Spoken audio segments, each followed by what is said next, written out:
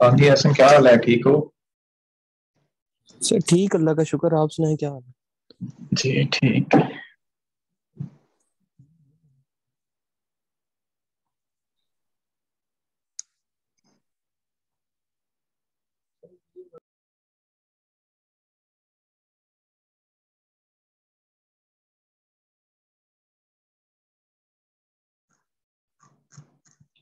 कोई लास्ट वाले जो पढ़ा था, उसमें कोई इशू हुआ?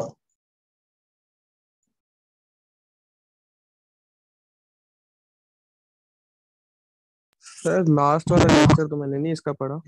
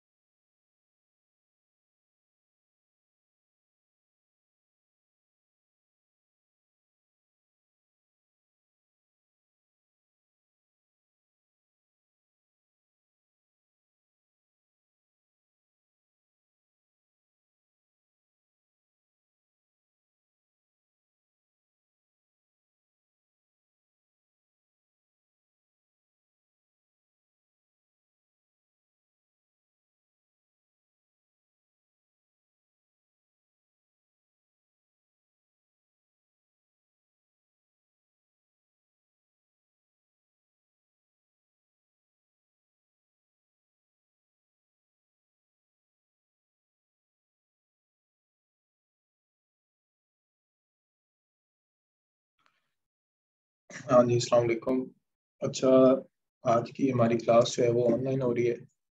सो so, अगर लास्ट किसी ने पढ़ा है उसमें से किसी का कोई क्वेश्चन है तो वो पूछ सकता है।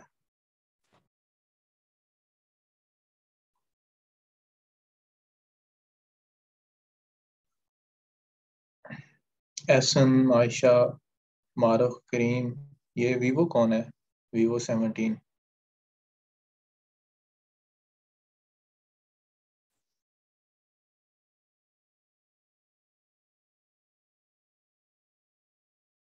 आवाज़ आ रही है सबको? जी सर आ रही है। ओके। चलें दो तीन मिनट और देखते हैं उसके बाद फिर स्टार्ट करते हैं।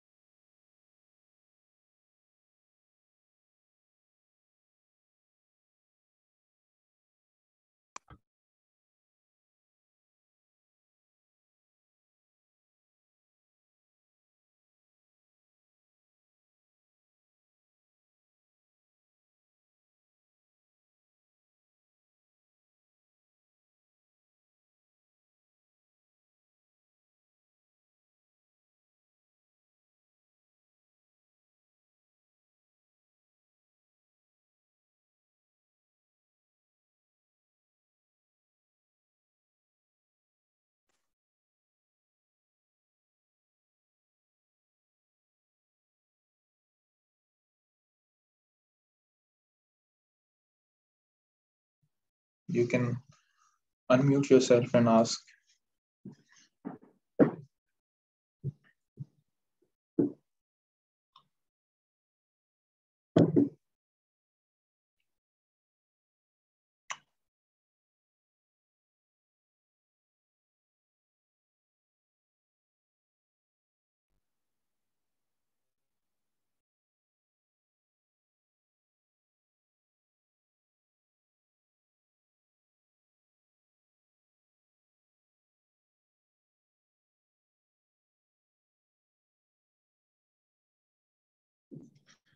okay ji most of the students आ चुके हैं और आपका अगर क्वेश्चन है तो वो पूछ लें।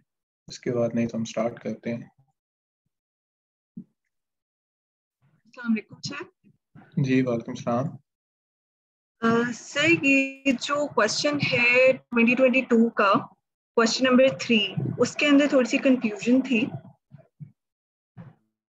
आप इसको चैट बॉक्स में शेयर कर सकती हैं? क्योंकि I don't have paper right here Okay. Yes, sir.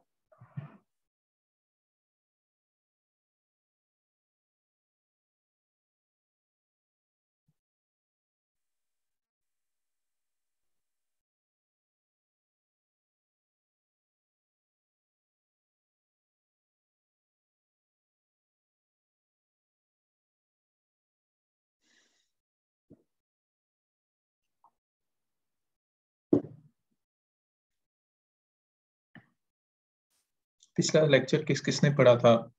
या खोल के जाके देखा था? हैंड रेस करें जरा अपना। करीम आपने पढ़ा था? आयशा अमीन आबिद रिदा शुएब कैसी लग रही है आप लोगों को ब्रिटिश हिस्ट्री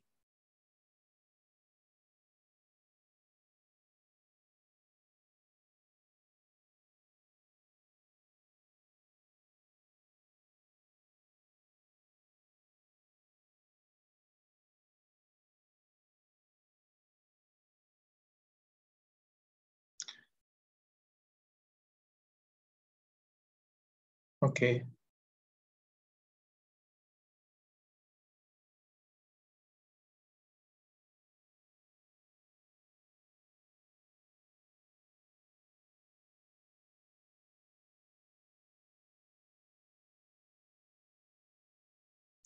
चलें जी, आगे मूव करते हैं।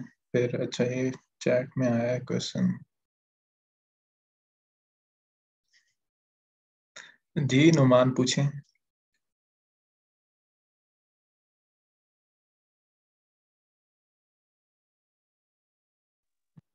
अलैक्म सर। जी वालेकुम सलाम। सर आज ना मेरी पहली क्लास है आपके साथ।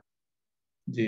तो जो पिछला सारा आपने अब तक पढ़ाया है तो sir how would I get that sir हम जी रिकॉर्डिंग सारी पढ़ी हुई हैं। हमारा ये मेथड ये है कि हम साथ साथ लेक्चर्स को रिकॉर्ड भी करते हैं और रिकॉर्डिंग जो है वो अवेलेबल होंगी जूम पे। मैं आपके साथ लिंक शेयर कर दूँगा आप वहाँ से सुन लीजिएगा। ठीक हो गया सर। और इसके अलावा any other source for reading purposes reading purposes slide would be enough sir slides would be more than enough आपकी मैं बाकी पर्सनली आप मुझे टेक्स्ट कीजिएगा मैं आपके साथ शेयर कर दूँगा extra resources thank you so much sir it's so kind of you sir thank you thank you हमारे साथ ने क्वेश्चन नहीं भेजा अभी तक। सर मैंने पेस्ट कर दिया है क्वेश्चन मैं फिर से कर देती हूँ let me check Okay, acha.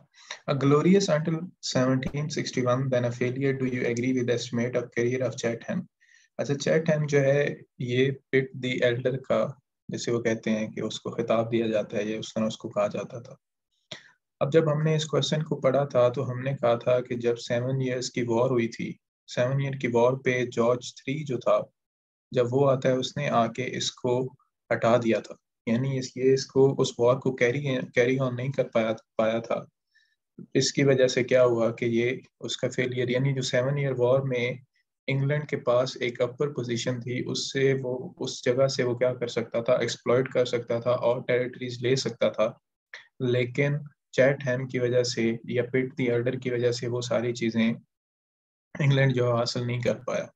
Plus अगर अगर हम उसकी जो जब वो वॉर मिनिस्टर था, उस टाइम की पॉलिसीज़ को देखते हैं तो वो ज़्यादा हमें सक्सेसफुल होती हैं। जैसे ऑस्ट्रियन वॉर ऑफ़ सक्सेशन थी, या initially during seven year of war जहाँ पे वो मिलिट्री में चेंजेस लेके आता है फ्रांस को वहाँ यूरोप में ही उसको कर्टेल करने के लिए फोर्सेस सामने उसके खड़ा करता है। देन डिप्लोमेटिक रेवोल्यूशन के थ्रू जो अलायंसेस वो बनाता है ड्यूरिंग सेवन ईयर वॉर तो उसकी वो ज़्यादा पीक था। एंड पे he could have achieve more but he couldn't ठीक है जी? सो so, देखें एंड पे जब वो सेवनटीन सिक्सटी वन में सेवन ईयर वॉर्स का एंड होता है तो यानी इसमें जो हमारा एग्जामिनर है बेसिकली वो हमें हमारा क्वेश्चन सेवन ईयर वॉर के पर्सपेक्टिव से वो पूछना चाह रहा है ठीक है जी?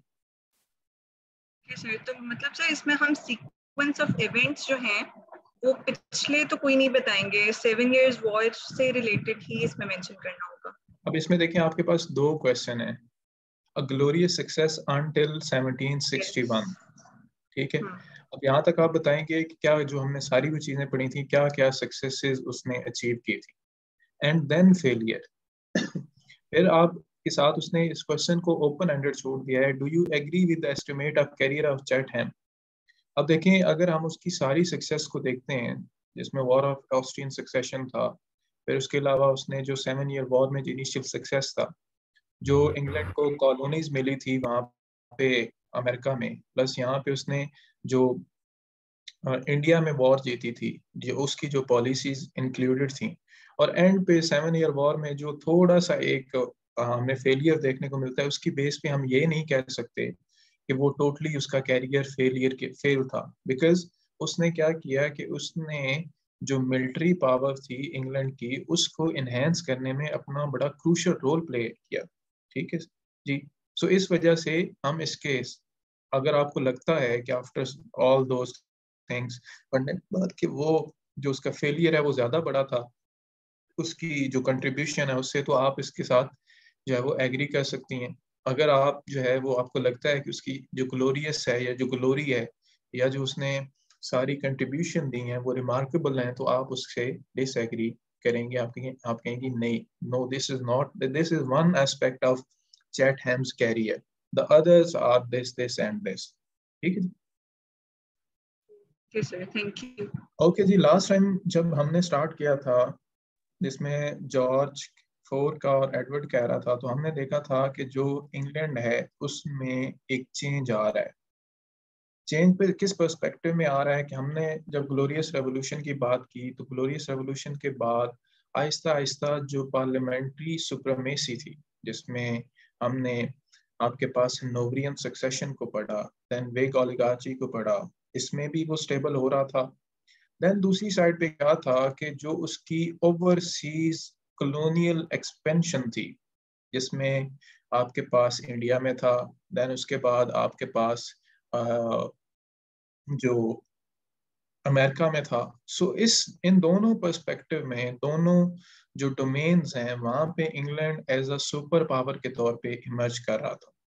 सो so, जब ये उनकी तरक्की का जो एक सफ़र है, ये कंप्लीट हो जाता है, या ये जो आहिस्ता आहिस्ता ग्लोरी की तरफ़ जाना स्टार्ट हो जाता है तो हम देखते हैं कि वहाँ पे डेमोक्रेसी जो है, वो अपने आप को स्ट्रॉन्ग करना स्टार्ट कर देती है, जिसमें हमने किंग एडवर्ड और जॉर्ज के एरा में देखा कि कितनी ज़्यादा सोशल एडवांसमेंट्स आई। आपका पुलिस सिस्टम जो है वो रिफॉर्म होना स्टार्ट हो गया। उसके बाद वर्कर के लॉज आना स्टार्ट हो गए। देन उसके बाद जो आपकी गवर्नमेंट थी ओवरऑल उसने एम्फेसाइज करना स्टार्ट कर दिया towards the collective welfare of people so यानी अगर मैं आपको ये कहूँ कि फ्रॉम 1800 टू 1900 ये जो एरा है, इस एरा को हम सोशल एडवांसमेंट कह सकते हैं कि social welfare of common people जितने भी एक्ट पास किए गए, या जितनी भी डेवलपमेंट्स हुई, उन्होंने डायरेक्टली और इनडायरेक्टली कॉमन पर्सन की जो पर्सन की लाइफ है, उसको इम्पेक्ट किया और उसको बेहतर बनाया। इससे पहले अगर हम 1700 से 1800 तक देखते हैं तो 1700 बेसिकली वो एरा है जहाँ पे आपकी पार्लियामेंट्री डेमोक्रेसी या कॉन्स्टिट्यूशनल मोनार्की इमर्ज करती है प्लस अपने आप को वो क्या करती है स्टेबलाइज करती है, जिसमें हमने वो सारे इवेंट्स जो हैं वो पढ़े। किंग एडवर्ड के बाद आपके पास क्वीन विक्टोरिया आती है। क्वीन विक्टोरिया का एरा जो है, इसको ग्लोरियस एरा भी कहा जाता है। बिकॉज़ इसमें आपके पास क्या हुआ कि आपके पास रिफॉर्म एक्ट आए, यानी पहला रिफॉर्म एक्ट कब आया था 1832 में आया था, जिसमें आपके पास जो वर्किंग लेबर क्लास थी, उसको वोटिंग राइट्स दिए गए। लेकिन उसके बाद, यानी इसको मैं अगर आपके सामने सिंपल वर्ड्स में कहूँ, जैसे मैं आपको बताता हूँ कि अभी किसी के पास कोई वोटिंग राइट नहीं है, ठीक है जी?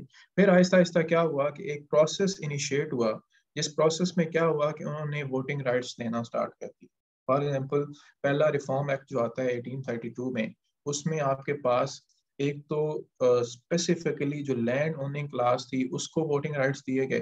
देन उसके बाद ज़्यादातर आपके पास जो मिडिल क्लास थी, जो इंडस्ट्रियल रेवोल्यूशन में हमने aftermath of industrial revolution देखा था, कि आपके पास इंडस्ट्रीज़ बनना स्टार्ट हो गई थी। उन इंडस्ट्रीज़ के बनने की वजह से आहिस्ता आहिस्ता वहाँ पे आपके पास मिडिल क्लास इमर्ज हो रही थी। जब मिडिल क्लास इमर्ज हो रही थी तो वहाँ पे पार्लियामेंट में वो ज़्यादा हाउस ऑफ़ कॉमन्स में वो ये डिमांड कर रहे थे कि हमें जो है वो ज़्यादा से ज़्यादा जो है वो आप वोटिंग राइट्स दो हम हमें रिप्रेजेंटेशन दो। और यहीं से आपके पास जो यूटिलिटेरियन फिलोसफी है अगर किसी का पॉलिटिकल साइंस हो सब्जेक्ट uh, हो तो वहाँ पे एक यूटिलिटेरियनिज्म हम पढ़ते हैं। और यही वो एरा था जहाँ पे जो आपके पास जो यूटिलिटेरियन फिलोसफी है वो भी यहाँ से मर्ज करती है। यानी लोगों ने ये डिमांड करना स्टार्ट कर दिया कि यानी जो रिफॉर्म एंड पीनल कोड था जुडिशरी में था या पार्लियामेंट में था कि हमें वो चीज़ें चाहिए जिन चीज़ों से हमें प्लेयर या पेन मिलता है। फॉर एग्ज़ाम्पल प्लेयर या पेन मतलब for the benefit of people are जो अब लोगों को हार्म कर रही हैं। सो so, इसी सिलसिले में जो डिफरेंट रिफॉर्म्स आई जैसे आपके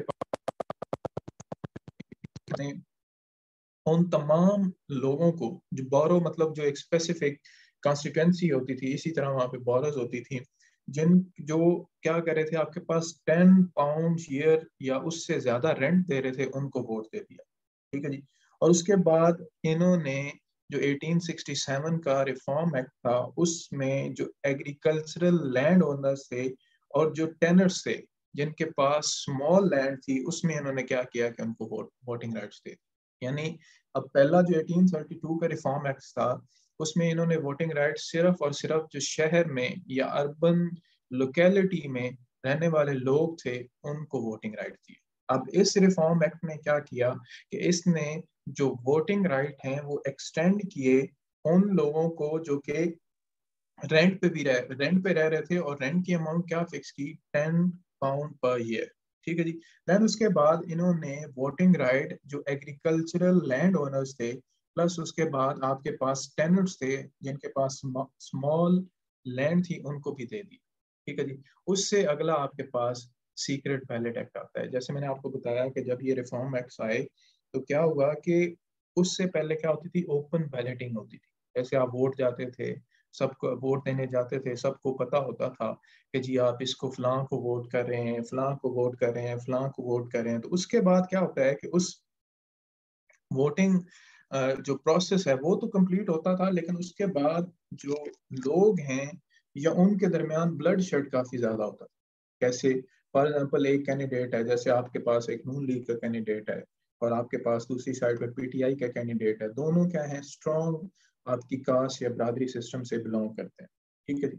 अब क्या हुआ चूँकि ओपन बैलेटिंग थी ओपन बैलेटिंग की वजह से आपने वोट किया पीटीआई को लेकिन नून लीग वाला जो था आपके उस स्पेसिफिक जो एरिया था उसमें ज़्यादा स्ट्रांग था। सो so, उसकी वजह से क्या हुआ कि आपके पास उसने आके आपको क्योंकि उसे पता चल गया कि जी इसने तो उसको वोट दिया है। सो एज अ रिज़ल्ट उसने आपको विक्टमाइज किया और फाइनली वहाँ की उनकी पार्लियामेंट ने क्या किया कि 1872 में एक रिफॉर्म एक्ट लेके आए, जहाँ पे उन्होंने कहा कि सीक्रेट बैलेटिंग होगी। And I think this was the most crucial step towards the development of true democracy in Great Britain ठीक है देन उसके बाद थर्ड रिफॉर्म एक्ट आता है। थर्ड रिफॉर्म आपका जो है, इसमें आपके पास यूनिफॉर्म जो वोटिंग राइट्स हैं थ्रू आउट द कंट्री जो है वो उसको दे दिए, दे दी गई। मतलब सिवाय जो वुमेन है वुमेन के अलावा हर एक को जो है वो वोटिंग राइट्स दे दिए हैं, दे दिए गए थे। और हमने लास्ट टाइम पढ़ा था कि 1918 में वुमेन को भी क्या किया कि उन्होंने वोटिंग राइट्स दे दिए थ्रू आउट यानी इस रिफॉर्म एक्ट में 1884 का जो थर्ड रिफॉर्म एक्ट आया था, इसमें ऑलमोस्ट 40 परसेंट वुमेन को वोटिंग राइट्स दिए गए थे। लेकिन 1918 में क्या हुआ कि एक यूनिफॉर्म फ्रेंचाइज वुमेन के लिए भी जो है वो इसमें इस्टेब्लिश कर दी गई। सो बेसिकली ये जो रिफॉर्म्स हैं this is a process of giving voting rights to each and everyone जैसे 1832 में क्या हुआ कि मिडिल क्लास को दिए गए, फिर 1867 में क्या हुआ कि मिडिल क्लास प्लस जो एग्रीकल्चरल लैंड ओनर्स थे, उनको दिए गए। फिर उसके बाद 1872 में सीक्रेट बैलेट एक्ट आया। देन उसके बाद थर्ड रिफॉर्म एक्ट जो 1884 में आया, उसने मेन के लिए यूनिवर्सल फ्रेंचाइज कर दी और 40 परसेंट वुमेन को दी दी, दे दी। तो इस तरह आपके पास क्या हुआ कि ये जो रिफॉर्म्स हैं, सारे के सारे विक्टोरिया के जो एज है, उसमें आपके पास आते हैं। फिर उसके बाद क्या हुआ कि लोगों की ओवरऑल जो है सोशल कंडीशंस इंप्रूव होना स्टार्ट हो गई यानी मुल्क जो था ग्रेट ब्रिटेन जो था, उस टाइम पे आपके पास एक स्ट्रॉन्ग इकोनॉमिक इकोनॉमी के तौर पे स्टैब्लिश हो चुका था। ठीक है जी? यानी उनको कॉलोनी से भी प्लस उन्होंने जो उनको लॉस हुआ था अमेरिकन वॉर ऑफ़ इंडिपेंडेंस में कॉलोनीज का उन्होंने एल्स वेयर उसको क्या करना कर, स्टार्ट कर दिया जिसमें जिस तरह न्यूजीलैंड था जिस तरह ऑस्ट्रेलिया था वहाँ पे और साउथ अफ्रीका था वहाँ पे उन्होंने अपनी कॉलोनीज को स्ट्रेंथन करना स्टार्ट कर दिया विक्टोरियन टाइम में। ठीक है जी? तो इस वजह से क्या हुआ कि उनकी जो इकोनॉमी है वो इन जनरल क्या हुआ कि उसका अच्छा आना स्टार्ट हो गया। ठीक है, उसमें बेहतरी आना स्टार्ट हो गई और उसके नतीजे में आपके पास जो जो कॉमन मैसेज हैं, उन्होंने उनके, उनकी जो सोशल कंडीशंस हैं, वो भी इम्प्रूव आना स्टार्ट हो देन सबसे जो इम्पोर्टेंट यहाँ पे रिफॉर्म प्रोसेस आता है, जो हम आगे पढ़ेंगे भी, कि इन्होंने एजुकेशन रिफॉर्म्स की इन्होंने जो विक्टोरियन एज है, उसमें आपके पास primary and secondary school system में इंट्रोड्यूस करवाया गया प्राइमरी जो एजुकेशन है उसको कंपलसरी करवाया गया। देन उसके बाद क्या हुआ कि एग्जामिनेशन सिस्टम भी इंट्रोड्यूस करवाया गया। उसके बाद जो ट्रेड यूनियंस हैं, यानी इसी विक्टोरियन एज में क्या हुआ कि डिफरेंट ट्रेड यूनियंस उनको अलाउ किया गया कि आप जो है वो ट्रेड यूनियन बना सकते हैं और पीसफुली प्रोटेस्ट कर सकते हैं। सो एज अ रिज़ल्ट क्या हुआ कि हम देखते हैं कि जो लेबर पार्टी पोस्ट 1900 जब उसका राइज होता है तो सारा का सारा ये जो trade union and all the steps हैं और बोल्शविक रेवोल्यूशन जब आती है, वो इंग्लैंड में इस वजह से नहीं आती, यहाँ पे ऑलरेडी ये जो सारा रिफॉर्म का प्रोसेस है, ये स्टार्ट हो चुका था। और इसने क्या किया हुआ था कि इसने लोगों को अपीज कर दिया था आपके पास, उनको, उनके ड्यू राइट्स जो है वो देना स्टार्ट कर दिए थे।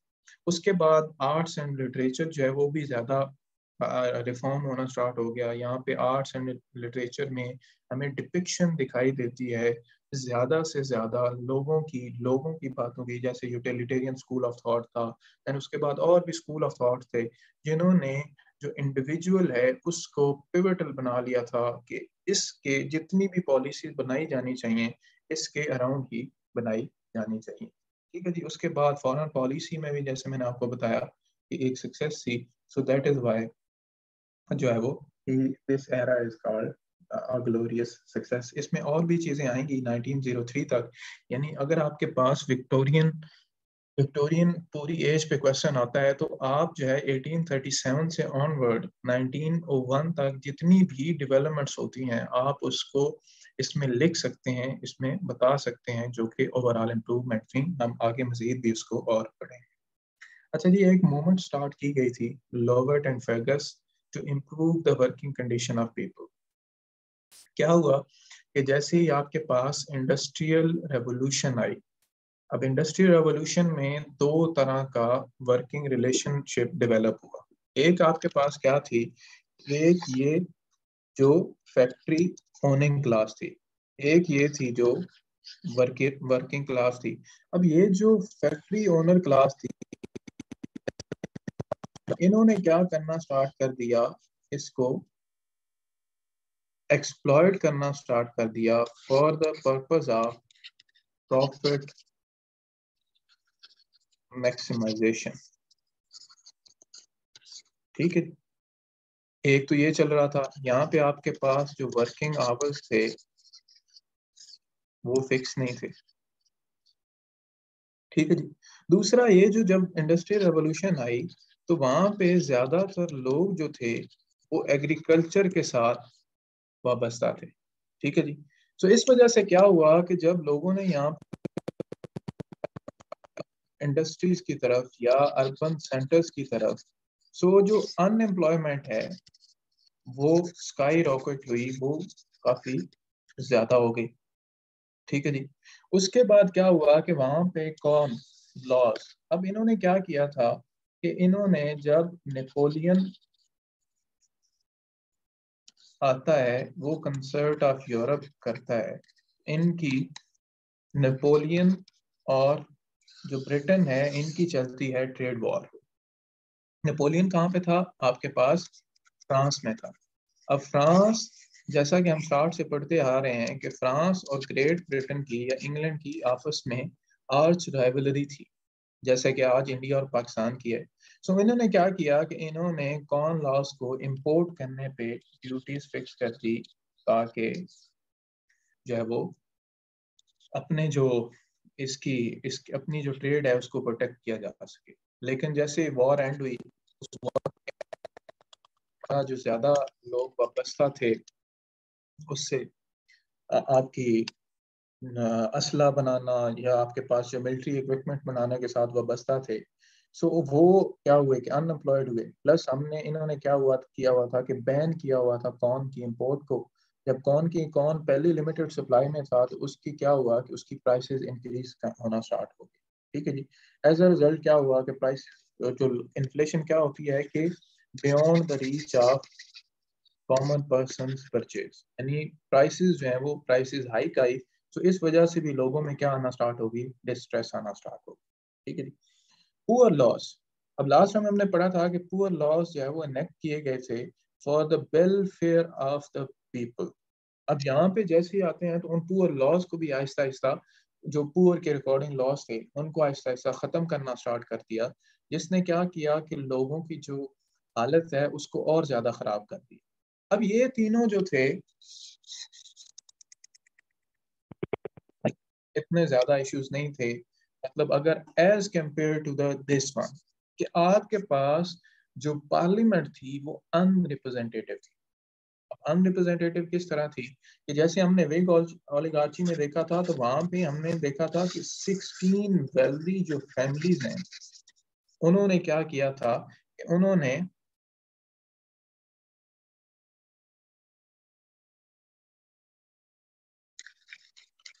उन, उनकी मनोपली कायम हो, हो चुकी थी। इसी वजह से हम उसको क्या कहते हैं? वेग ओलिगार्ची ठीक है जी?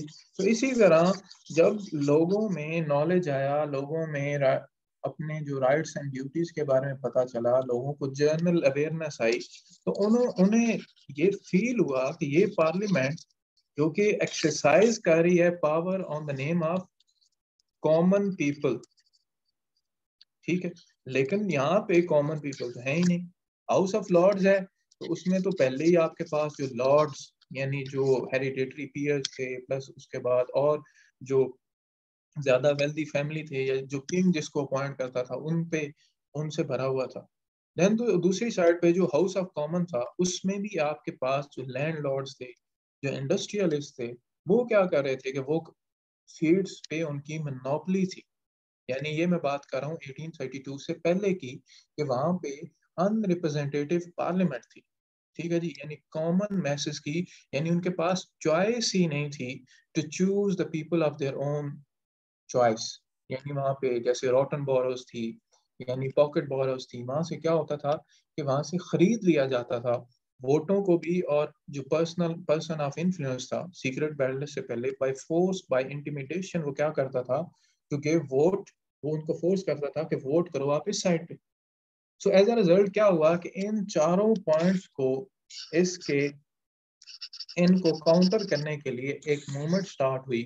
जिसका नाम दिया गया चार्टिस्ट मूवमेंट जिसको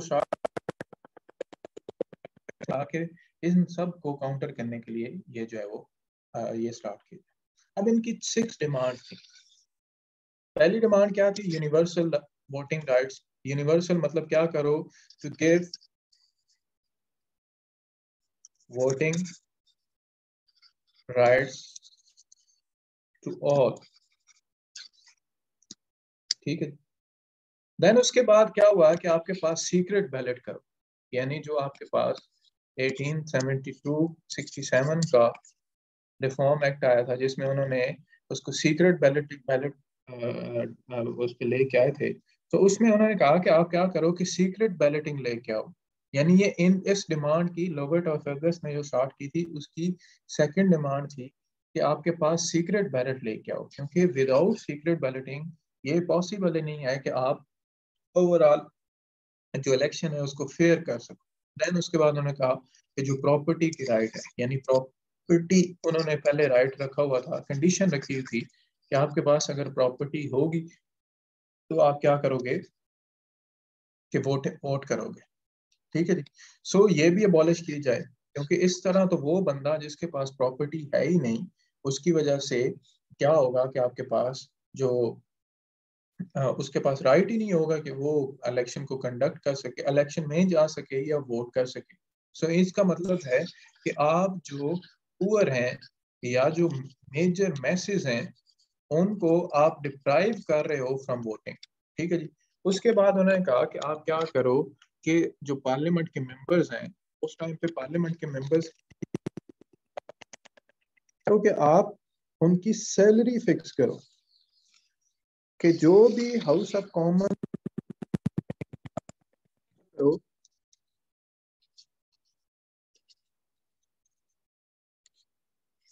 सैलरी दो।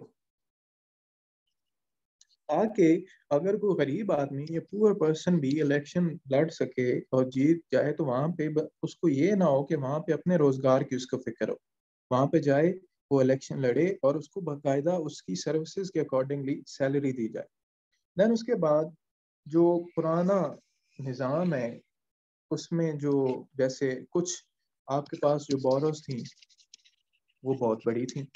कुछ जो थी, वो छोटी थी। यानी वो भी क्या थी कि अनरिप्रेजेंटेटिव इन नेचर थी। तो उन्होंने कहा कि आप क्या करो कि ओवरऑल न्यू कॉन्स्टिट्यूंसीज बनाओ, जहाँ पे वोटर लिस्ट प्रिपेयर करो देन उसके बाद वहाँ पे रीडिस्ट्रीब्यूशन ऑफ़ सीट्स करो आप। ठीक है? ताकि हम ये जो निज़ाम है, जो हमने अब किंग से तो हमारी जान छूट गई है, हम इसको भी प्रॉपर फेयर बनाए in the greater interest of masses ठीक है जी? देन उसके बाद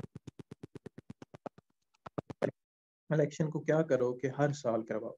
यानी जैसे वहाँ पे सेप्टीनियल एक्ट आया था, फिर उसके बाद ट्राइनियल एक्ट आया था कि जहाँ पे उन्होंने सेवन ईयर किया, फिर थ्री ईयर किया, उन्होंने कहा कि आप जो है वो इलेक्शन जो है वो हर साल करवाओ। सो ये इनकी छः बेसिक डिमांड्स थी। पहली क्या थी? यूनिवर्सल फ्रेंचाइज दूसरी क्या थी आपके पास? सीक्रेट बैलेट देन उसके बाद थर्ड क्या थी? प्रॉपर्टी राइट को आप खत्म करो। देन फोर्थ क्या थी? सैलरी ऑफ़ पार्लियामेंट उसको फिक्स करो। न्यू कॉन्स्टिट्यूंसीज लेके आओ और हर साल इलेक्शन को करवाओ। जिसके नतीजे में क्या हुआ कि इन्होंने इनिशियली पीसफुल प्रोटेस्ट की जिसमें जो लवर्ड था, इसके दो लीडर्स थे, एक लवर्ड था और एक फर्गस था। उसने क्या किया कि 1839 में प्रेजेंट किया बिल बिफोर द पार्लियामेंट जी?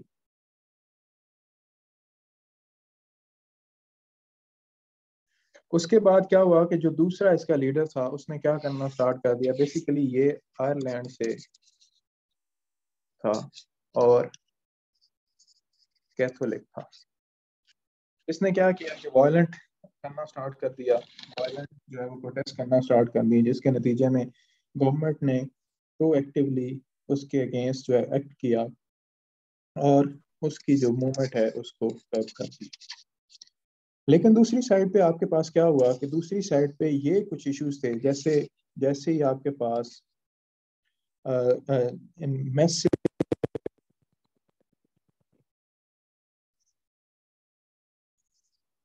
कौन लॉस तो गवर्नमेंट क्या करती है कि कौन लॉस को भी रिपील कर देती है। प्लस ये जो चार्टर्स मूवमेंट थी, इनकी अपनी भी जो लीडरशिप थी, वो इतनी ज़्यादा आइडियल नहीं थी, उन्हें पॉलिटिकल स्ट्रेंथ नहीं थी। प्लस क्या हुआ कि आपके पास 1872 में सीक्रेट बैलेट एक्ट जो है, वो एक्सेप्ट कर लिया गया। फिर 1885 में प्रॉपर्टी की जो कंडीशन है, उसको वेव कर वेव ऑफ़ कर दिया गया। देन जो पे है, कि 1911 में जो सैलरी की थी, वो वो भी उसको भी मान मान लिया गया। देन उसके बाद जो यूनिवर्सल फ्रेंचाइज है, यानी मैन प्लस वुमेन उनको, उसको भी 1918 में जो है वो एक्सेप्ट कर लिया और डिफरेंट लॉज पास किए गए for the welfare of people so as a result क्या हुआ कि ये जो मूवमेंट है,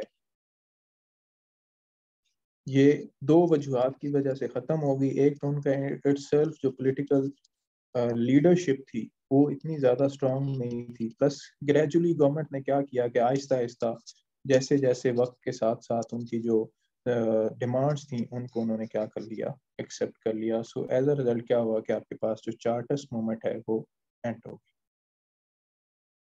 उसके बाद ये आपके पास है corn laws The corn laws was tariffs and restrictions put on place from 1815 in. अब टैरिफ क्या होते हैं? कौन बताएगा?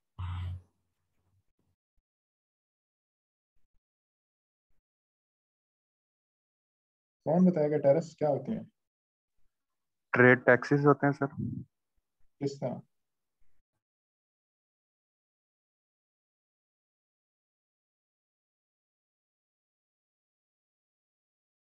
एक्सप्लेन करें इसको। सर जी जो ट्रेड वगैरह की जाती है उस पर गवर्नमेंट की तरफ़ से कुछ टैक्सेस वगैरह होते हैं इम्प्लीमेंट किए जाते हैं उन्हें टैरिफ कहा जाता है। नुमान आप सर इंपोर्ट के नहीं होते?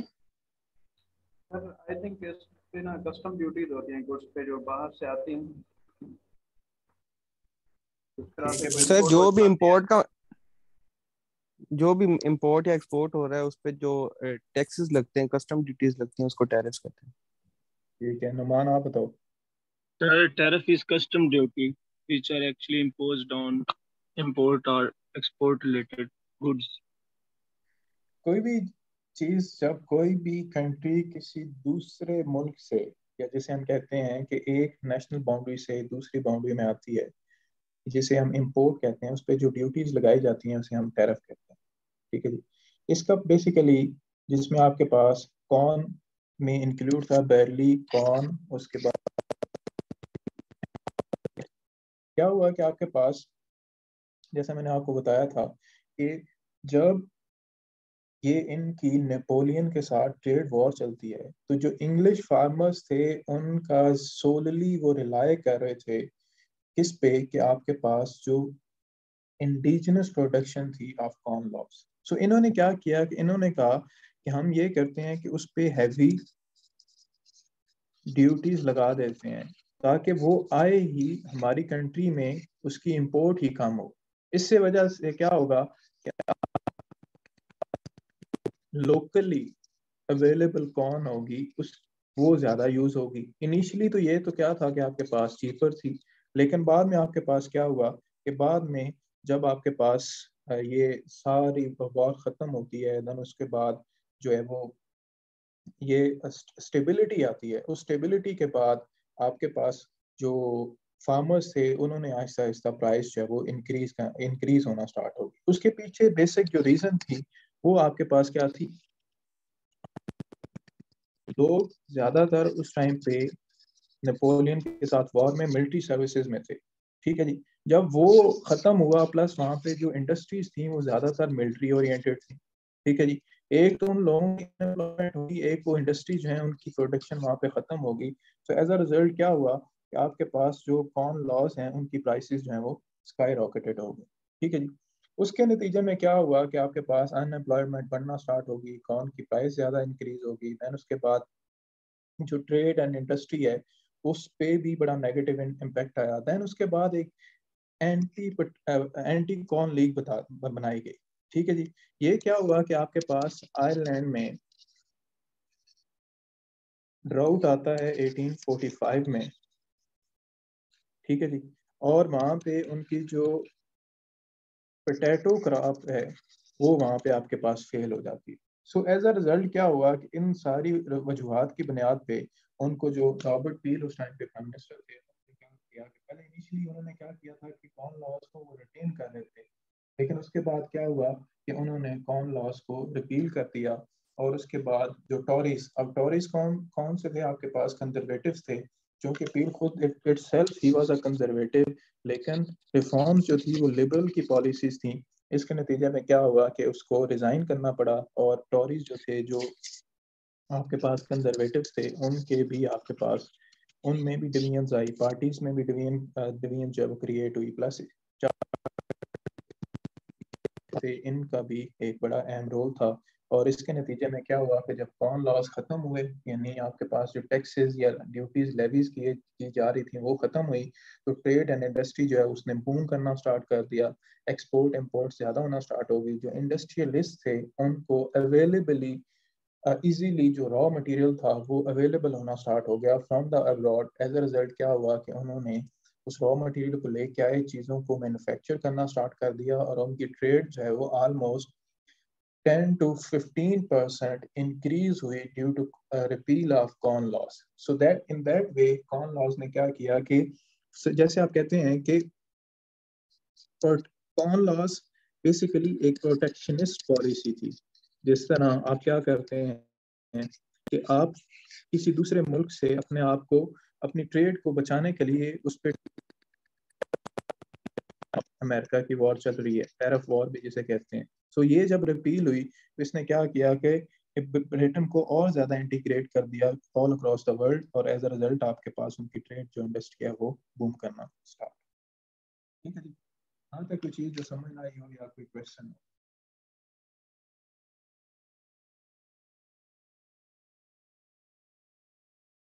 क्लियर है जी यहाँ तक? सर ये जो विक्टोरिया आई थी क्वीन विक्टोरिया जो थी क्वीन क्वीन विक्टोरिया सॉरी। वो क्या नाम है? हिनोवियन सक्सेशन से थी। जी हिनोवियन सक्सेशन में ही थी। पहले आपके पास आया था George one George two George three George four Edward उसका भाई फिर उसके बाद आपके पास क्वीन विक्टोरिया आई थी। ठीक है जी? आगे चलते हैं जी। अब हम कुछ प्राइम मिनिस्टर्स पढ़ेंगे और जिन पे अक्सर एग्जामिनर क्वेश्चन पूछ भी लेता है। और पहला जो आपके पास प्राइम मिनिस्टर है, ये सर रॉबर्ट पील हैं। 1788 में ये पैदा हुए थे और 1850 में इनकी डेथ हुई थी। यानी इनका जो एरा है, वो कौन सा बनता है भला? George two George three George four Edward four और विक्टोरिया कैरा में अच्छा आपने जब भी पढ़ना है ना, या जाके प्रिपेयर करना है सो आपने इस एरा को लाजमी माइंड में रखना है कि ये कौन से आपको कहता हूँ कभी कोई अनफॉर्चुनेट इंसिडेंट हो जाता है कि आपको क्वेश्चन याद नहीं रहता। कि रॉबर्ट वॉल रॉबर्ट पील की जो पॉलिसीज़ हैं वो क्या थी आपके पास? सो so, आपको जब ये एरा स्टार्ट होगा ना कि अच्छा जी ये 1788 में पैदा हुआ था 1850 में जो है वो मरा था देन उसके बाद ये देखें इसका जो प्राइम मिनिस्टर है टू टाइम्स ये पीएम रहा है। एक 1834 में देन 1841 और 1846 में, यानी ये आपके पास एडवर्ड वाला एरा में और आपके पास विक्टोरिया वाले एरा में आया है। यानी जितनी भी रिफॉर्म्स हैं एडवर्ड वाले टाइम में, वो इसने की हों एंड उसके बाद जो कुछ रिफॉर्म्स हैं, जो एक्ट्स आए थे, वो आपके पास विक्टोरियन एज के दौरान सर रॉबर्ट पील ने किए किए थे। देन उसके बाद he was home secretary from 1822 to 1833 1830 so इसका जो बेसिक जो बेसिक जिसके इस जिसकी वजह से इसको कहा जाता है कि आपके पास क्लासिक लिबरलिज्म इन इंग्लैंड ठीक है जी। अब आपके पास क्या था कि वहाँ पे ये जो यूके था यूके में आहिस्ता आहिस्ता एक रिफॉर्म का, जैसे मैंने आपको स्टार्ट में बताया कि प्रोसेस स्टार्ट है उसमें डिफरेंट पर्सनैलिटीज ने अपनी कंट्रीब्यूशन दी थी, ठीक है जी? And sir Robert Peel is one of them उन्होंने क्या किया कि उन्होंने पीनल कोड यानी वहाँ पे सिक्स जिनके लिए जो माइनर माइनर क्या थी? डेथ पेनल्टी थी आपके पास। वॉइस इशू सब आपकी आवाज़ जो है ना वो कट कट के आ रही है। हाँ सर आपकी आवाज़ ना कट कट के आ रही है।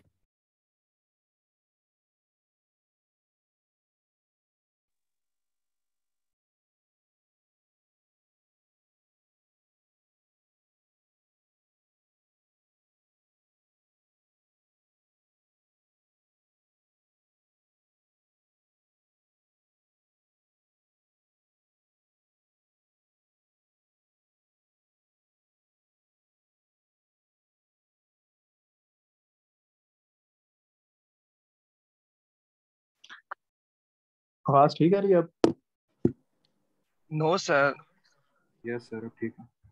जी सर अब ठीक है ओके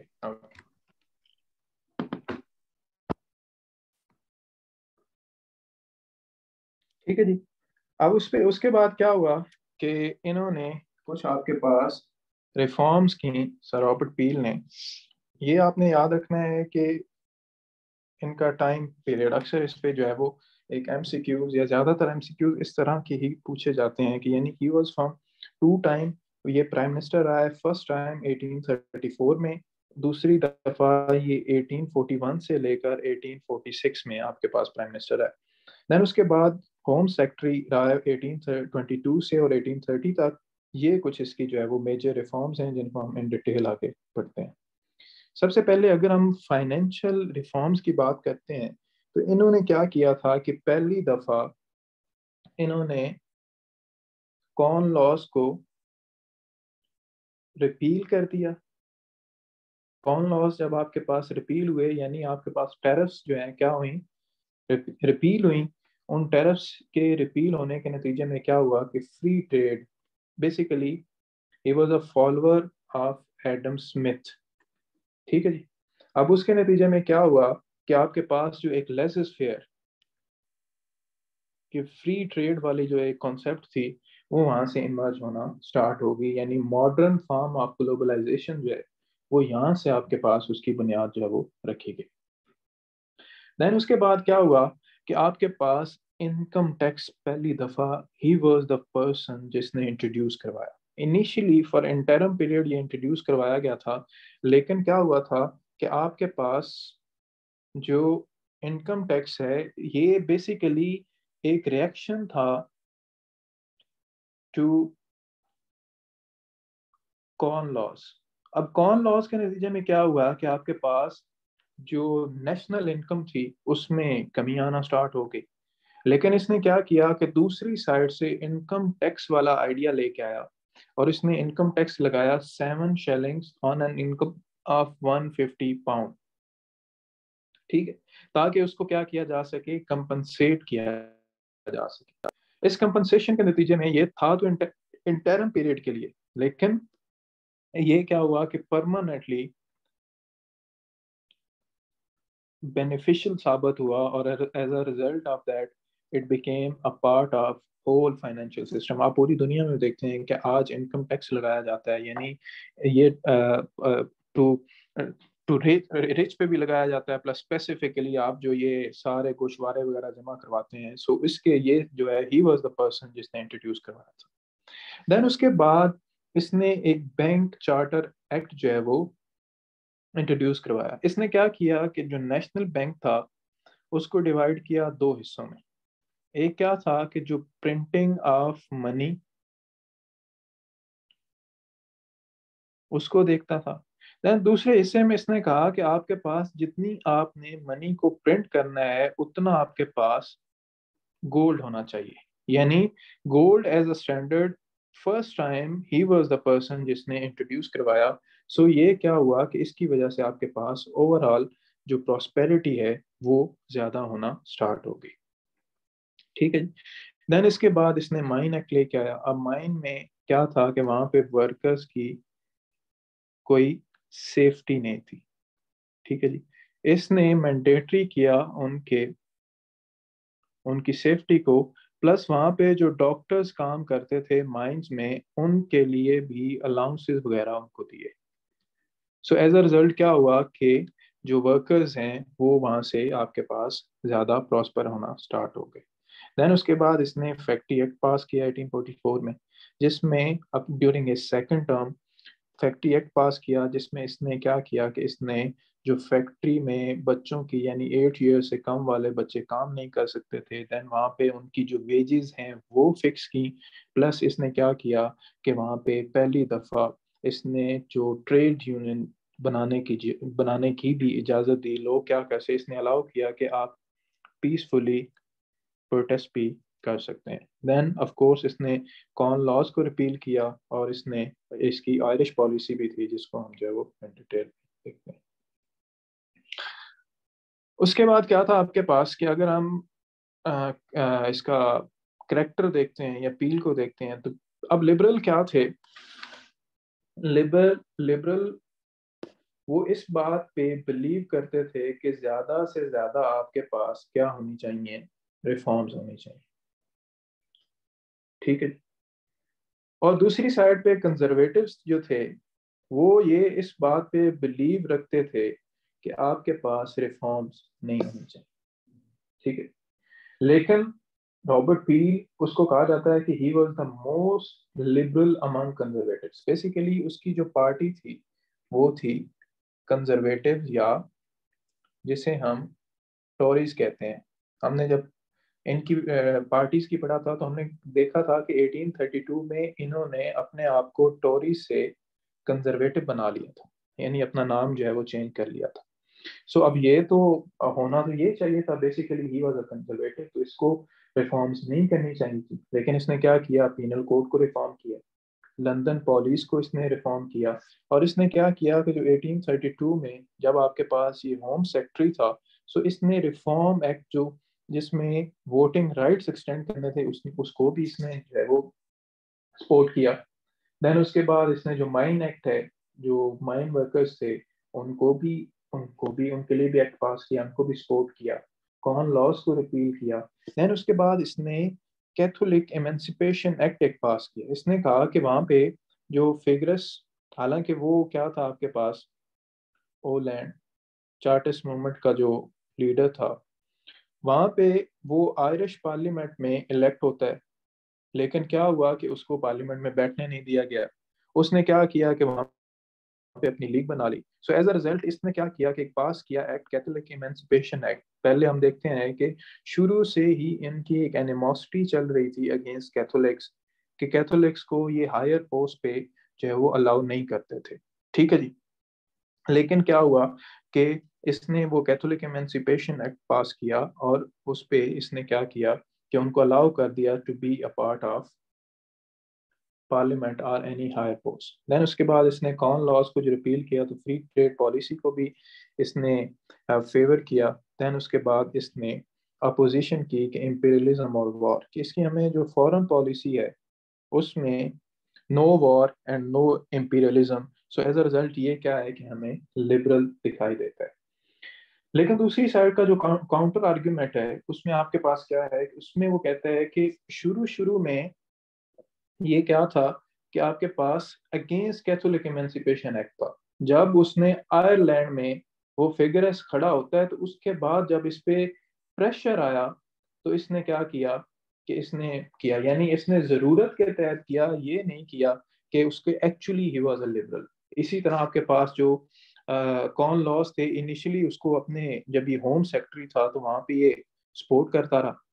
उसको कि जी कौन लॉज होने चाहिए? लेकिन जब वो पीक पे चली गई चार्टर्स मूवमेंट आ गई, लोगों की जो उनके उनके अगेंस्ट रिजेंटमेंट थी, वो इंक्रीज होना स्टार्ट होगी तो इसने कहा कि corn laws has to go so इससे हम ये नतीजा अखज कर सकते हैं कि he was not an orthodox not a conservative basically he was flexible in his character यानी वो क्या बिलीव करता था कि लोगों की जो वेलफेयर है, उसके लिए जो सूट मोस्ट सुटेबल थिंग है, अगर वो लोगों की वेलफेयर को इंश्योर कर रही है तो देन जो है वो उसके लिए ठीक है। इसी वजह से वो अपने आप को अबव पार्टी पार्टी पॉलिटिक्स जो है वो उस पर रखता था।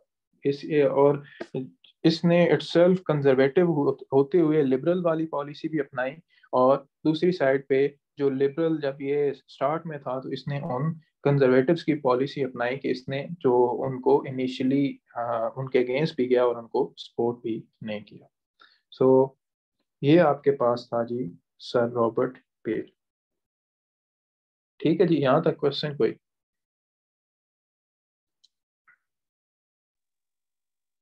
किसी को समझ ना आई हो?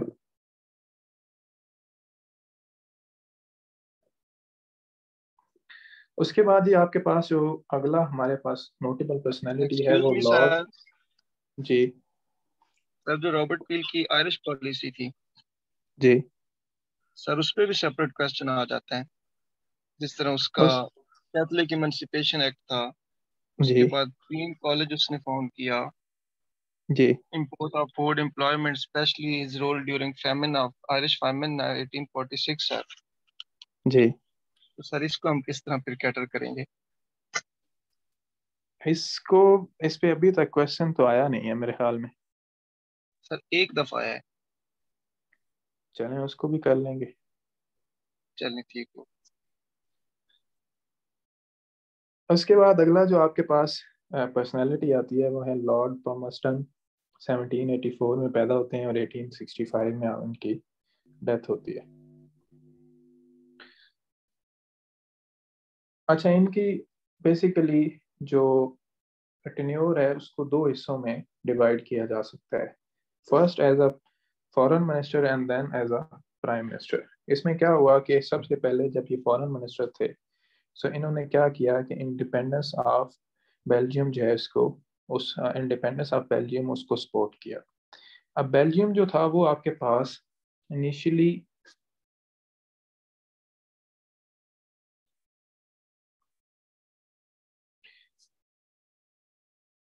बेल्जियम इनिशियली आपके पास ये पार्ट ऑफ़ स्पेन था। स्पेन के बाद ये हॉलैंड के पास चला गया। उसके बाद क्या हुआ कि बेल्जियम के जो लोग हैं, उन्होंने इनके अगेंस्ट रिवॉल्ट स्टार्ट कर दी। एक और जो चीज़ आप याद रखेंगे, वो ये है कि जो 1800 से 1900 का पीरियड है, इसे हम कहते हैं एरा ऑफ़ रिवॉल्ट यानी हर जगह पे लोग जो कि फ्रेंच रेवोल्यूशन रेवोल्यूशन से एस्पायर हुए थे, वो ऑर्थोडॉक्स मोनार्की या लिबरेशन की तरफ़ मूव कर रहे थे। सो हॉलैंड ने क्या किया हुआ था कि बेल्जियम को सब ड्यू किया सब ड्यू किया हुआ था। सो उसके नतीजे में क्या हुआ कि उन्होंने वो उनके अगेंस्ट खड़े हो गए। पामस्टन जो था, इसने क्या किया कि इसने सपोर्ट किया बेल्जियम के लोगों को। अब फ्रांस, स्पेन जो था, उसका इनहेरेंट क्लेम था कि वो चाहता था कि बेल्जियम उसके साथ आ जाए। फ्रांस के साथ इनकी अवेलेबल थी। सो एज अ रिज़ल्ट क्या हुआ कि वो उस पर अटैक करने लगे। थे लेकिन जो रन था, इसने क्या किया कि इसने प्रेशराइज किया फ्रांस और स्पेन को और उनको जो है वो ये ये रियलाइजेशन दिलवाई कि अगर आप वहाँ पे हमला करेंगे तो we will also take an action उस एक्शन के नतीजे में क्या हुआ? क्या होगा कि वॉर जो है वो लार्जर स्केल पे आपके पास चली जाएगी। ठीक है जी? सो एज अ रिज़ल्ट क्या हुआ कि आपके पास फ्रांस और स्पेन जो है, वो नहीं आते, वो उसमें हिस्सा नहीं लेते। हॉलैंड और बेल्जियम जो है वो आपस में उनकी स्ट्रगल चलती रहती है। और एज अ रिज़ल्ट क्या होता है कि 1839 में Holland accorded independence to Belgium कि बेल्जियम जो है उसको फाइनली हॉलैंड जो है वो इंडिपेंडेंस दे देता है। ठीक है जी? उसके बाद तीन और प्रॉब्लम्स हैं, जिसमें आपके पास प्रॉब्लम ऑफ़ पुर्तगाल थी प्रॉब्लम ऑफ़ स्पेन थी and war with Mehmet Ali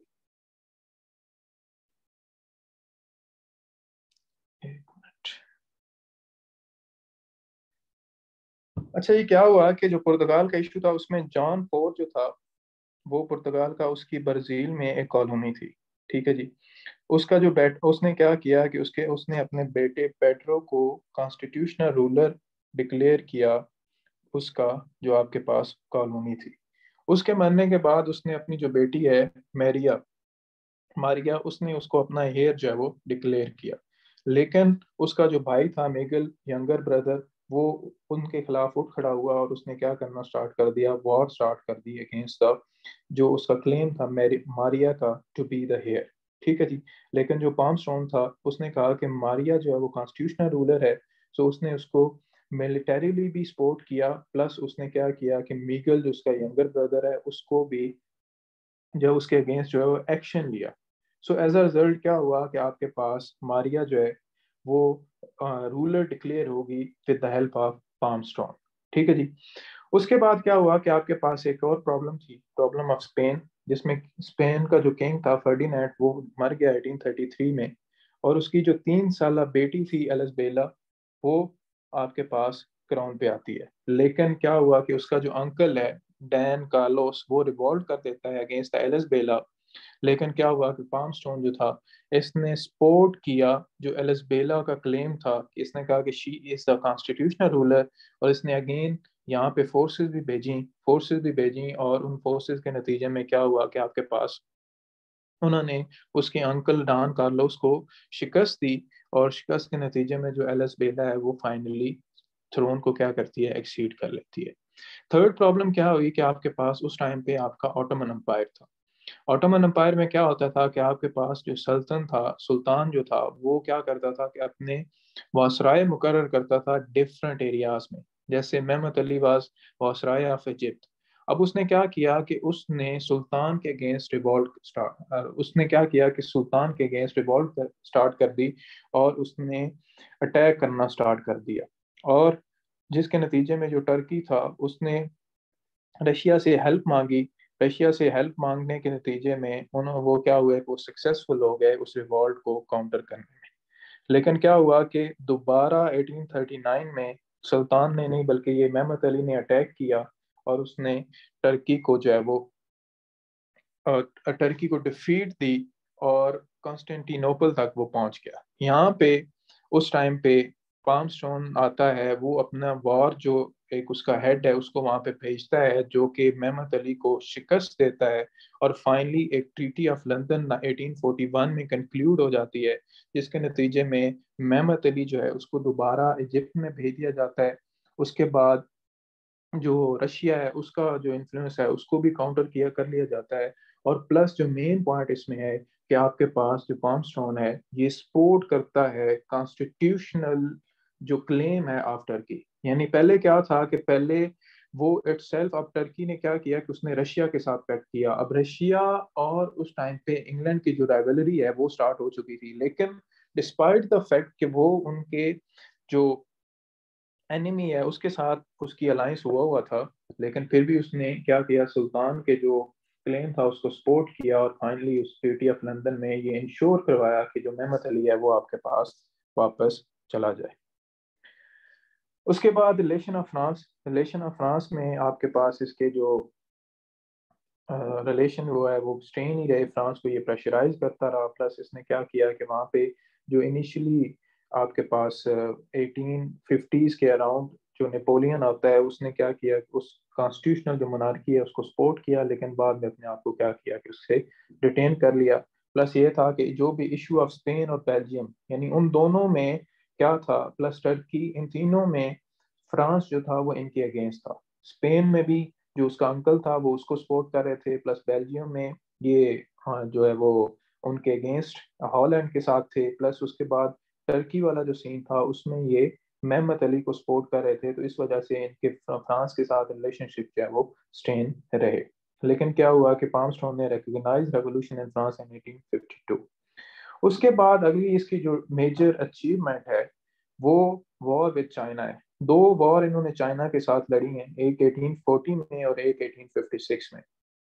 1840 में क्या हुआ कि आपके पास यहाँ पे अब जो ब्रिटेन था, ये ट्रेड करते थे उनके साथ चाइनीज़ के साथ। जब इनका जहा, जो आपके पास ट्रेडिंग शिप है, वहाँ पे जाता है तो वहाँ पे क्या होता है कि वो उस पर अटैक करते हैं। और as a result Palmerston यहाँ से फोर्सेस भेजता है और उसके नतीजे में आपके पास जो है वो ट्रीटी ऑफ़ नाइन किंग जो है वो आ, उनके साथ होती है जिसमें वहाँ पे उनको प्रॉपर एक जगह दी जाती है फ्लीट दी जाती है प्लस जो है वो उनको ट्रेड करने की इजाज़त दी जाती है और ये कहा जाता है कि इनके इन पे इंटरफेयर कोई नहीं कर सकता आपके पास। देन दोबारा 1856 में दोबारा वो क्या करते हैं कि उनका जो वो रिवॉल्ट कर देते हैं, उस ट्रीटी को वायलेट कर देते हैं, ये दोबारा अपनी फोर्सेस भेजता है और इस टाइम पे ये ज़्यादा उनसे जो है वो बारगेन के नतीजे में जब ये जीत जाते हैं तो ज़्यादा कंसेशन लेके आता है और अल्टीमेटली जो ट्रेड की मनोपली है, इनकी वहाँ पे ये कायम हो जाती है। प्लस इसने क्या किया कि जो हंगरी जो कि under the rulership of Austria था ऑस्ट्रियन अम्पायर का था, इसने उनको इस बात पे इनकरेज किया कि you have to revolt against Austria we will help you by any means plus इसने यूनिफिकेशन ऑफ़ इटली में भी हेल्प हेल्प आउट किया कि इटली क्या थी उस टाइम पे? छोटी छोटी आपके पास स्टेट्स थी। इसने उनको फाइनेंशियली भी हेल्प किया कि यूनिफिकेशन ऑफ़ इटली जो है वो पॉसिबल हुई after the help of Palmerston ठीक है जी, ये एज अ फॉरेन मिनिस्टर उसकी क्या थी कि जो अचीवमेंट थी, यहाँ तक क्वेश्चन हो किसी का।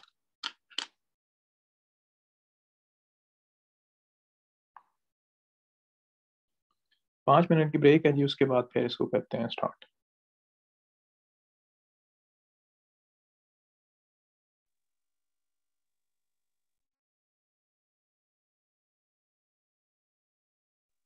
सर पाँच मिनट में तो नमाज़ भी नहीं पढ़ी जाएगी।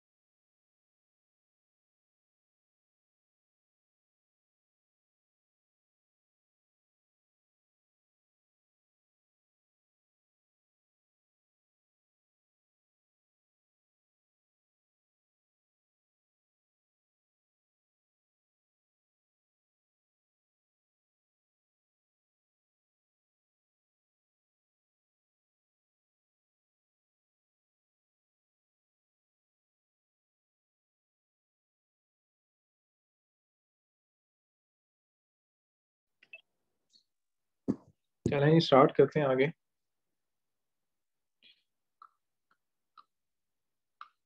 उसके बाद एज अ प्राइम मिनिस्टर इसकी दो टेन्योर रहे from 1855 to 1858 and 1859 to 1665 initially ये क्या था आपके पास? टॉरी था। यानी ये क्या था? कंजर्वेटिव था। देन इसने पार्टी चेंज करके ये आपके पास विग जो है वो में कन्वर्ट हो गया। अच्छा इसकी जो पॉलिसीज़ हैं फर्स्टली इसने क्या किया कि अगेन वही इंपीरियलिस्टिक पॉलिसीज़ थी जिसमें ईस्टर्न क्वेश्चन क्या था कि ऑटोमन एम्पायर था स्क्रीन नहीं शो हो रही। सर स्क्रीन शेयर नहीं हो रही। मैं एक मिनट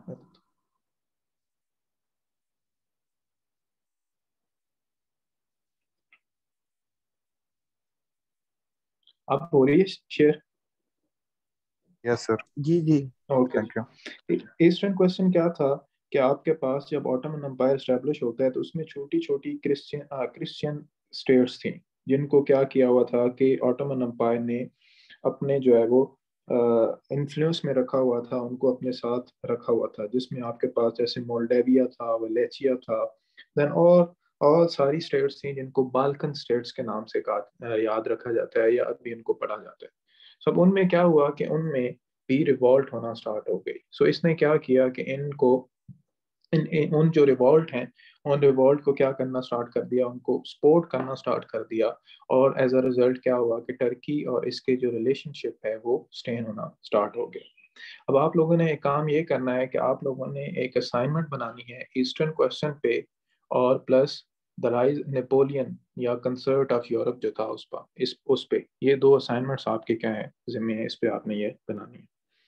उसके बाद क्या हुआ कि आपको पता होगा कि 1857 में इंडियन म्यूटनी स्टार्ट हो जाती है, जिसमें हमने पढ़ा था कि मीरठ में, दिल्ली में, लखनऊ में पाम स्टोन ने क्या किया कि उसने जो है वो इस म्यूटनी को स्ट्रॉन्गली क्वेल किया, इसने वहाँ से फोर्सेस भेजी, क्योंकि ये उस टाइम पे क्या था आपके पास? प्राइम प्राइम मिनिस्टर था सो इसने उस म्यूटनी को क्वेल करने में अहम किरदार अदा किया। फिर उसके बाद आपकी अमेरिकन सिविल वॉर स्टार्ट हो जाती है जिसमें आपके पास कुछ नदरन स्टेट्स थी कुछ जो थी वो आपके पास सदर्न स्टेट्स थी। अब जो नदरन स्टेट्स वाले थे वो ज़्यादातर एग्रीकल्चरलिस्ट थे और इंडस्ट्रियलिस्ट थे। दैन दूसरी साइड पे आपके पास लैंड थे सदर्न स्टेट्स वाले। सो so, इनमें एक इशू ऑफ़ स्लेवरी स्टार्ट हो जाता है। ठीक है जी?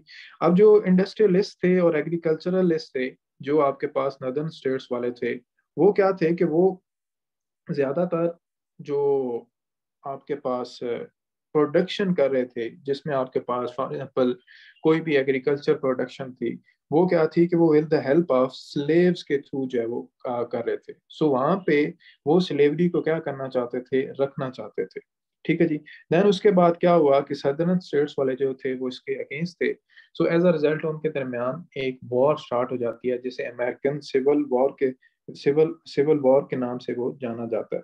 जिस जिसके नतीजे में आपने पढ़ा होगा कि जब आपके पास इब्राहिम लिंकन जो कि आपके पास सदरन स्टेट से था वो प्रेसिडेंट जो है वो इलेक्ट हो जाता है इन 1860 और उसके बाद उनके दरमियान जो क्राइसिस है वो ज़्यादा मैसिव स्केल पे जो है वो चला जाता है। लेकिन पाम स्टोन ने क्या किया था कि इसने चूँकि इनके इंटरेस्ट जो है वो सदरन स्टेट के साथ ज़्यादा थे सो एज अ रिज़ल्ट क्या हुआ कि इसने उनको सपोर्ट किया वहाँ पे। देन उसके बाद जो अगला है पॉलिश रिबिलियन पॉलिश क्या था उस टाइम पे? रशिया का पार्ट था.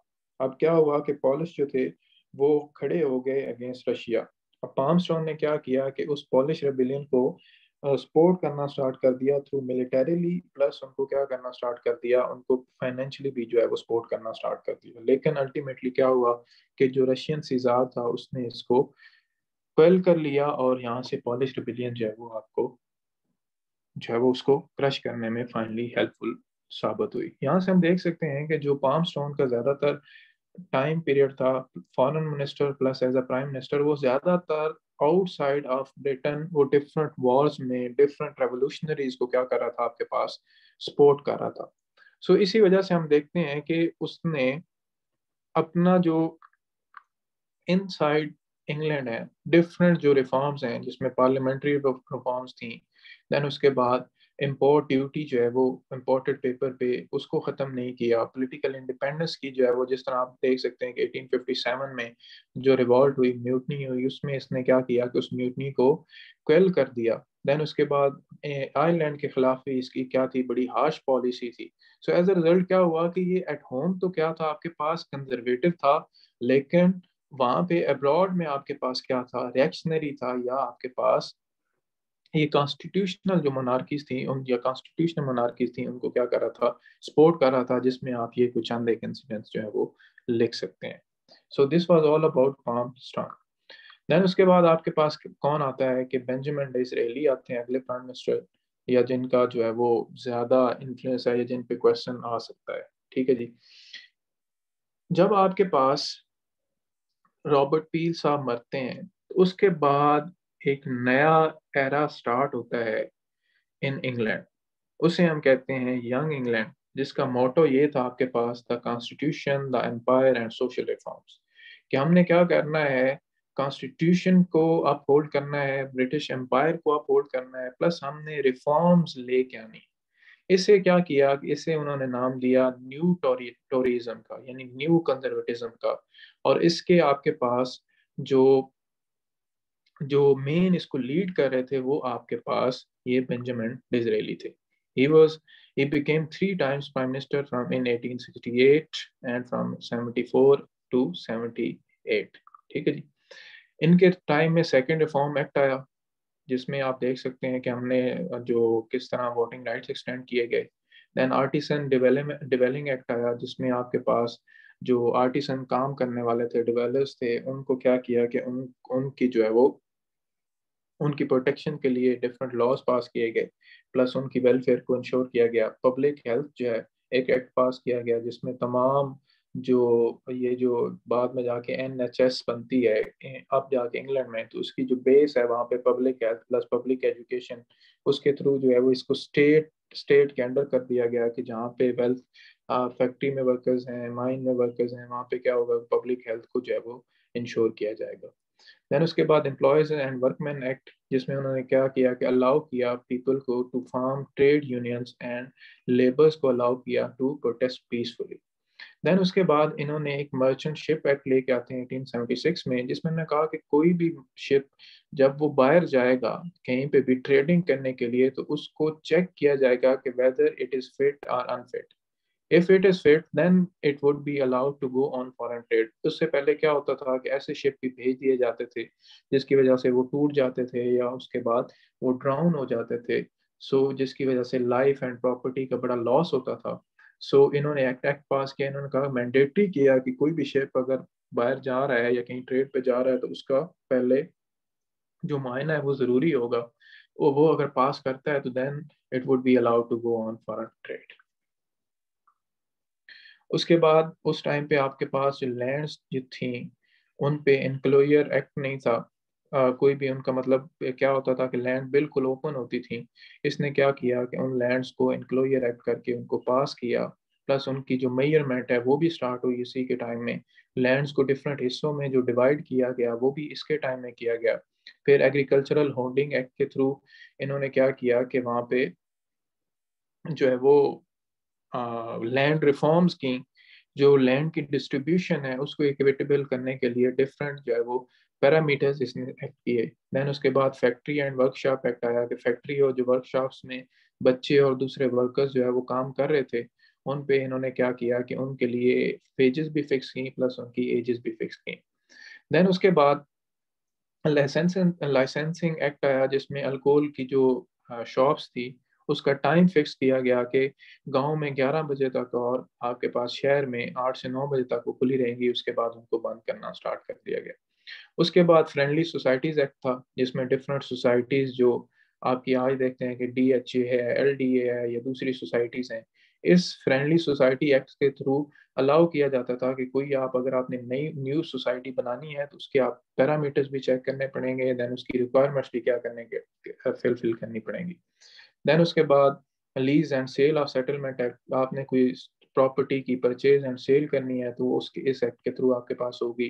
देन यूनिवर्सिटीज एक्ट जिसमें ये किया गया कि उससे पहले आपके पास जो है वो कोई भी कैथोलिक्स जो था, वो ऑक्सफोर्ड और कैम्ब्रिज में नहीं जा सकता था। यानी उसका टेस्ट लिया जाता था। लेकिन अब क्या हुआ कि इसको रिवोक कर दिया गया और कोई भी उसमें जाके पढ़ सकता था। ऑक्सफोर्ड और कैम्ब्रिज की फेलोशिप जो है उसको हासिल कर सकता था। फिर उसके बाद कॉन्टेजियस जो डिज़ीज़ थी एनिमल एक्ट 1878 में आया, जिसमें उन्होंने क्या किया कि कोई भी एनिमल अगर आप बाहर से लेके आ रहे हैं तो आप उसका प्रॉपर चेकअप करेंगे। ये ना हो कि उसमें कोई डिज़ीज़ हो। सो इस तरह पब्लिक हेल्थ के वेलफेयर में भी इन्होंने काम किया। देन उसके बाद पब्लिक वर्शिप और उसके बाद चैरिटी कमीशन भी बनाए, जिसके थ्रू इन्होंने सोसाइटी को रिफॉर्म करने की कोशिश की। उसके बाद एट अब्रॉड इन्होंने क्या किया कि क्वीन विक्टोरिया को 1868 में एम्प्रेस का जो है वो टाइटल दिया। देन उसके बाद स्विस कनाल 1858 में जब बनती है तो उसमें इन्होंने क्या किया कि वहाँ पे जिसके मेन शेयर थे, उससे इन्होंने क्या किया कि उससे शेयर खरीदे और इस तरह ब्रिटेन जो है, जब 1950s के अराउंड दोबारा स्विस कनाल क्राइसिस आता है तो उसमें इन्होंने क्या किया कि वो ब्रिटेन मेन कंटेंडर हो गया। यानी बाय स्विस कनाल में उस टाइम पे जो मेन परचेज की थी आपके पास बेंजामिन से इसराइली ने की थी।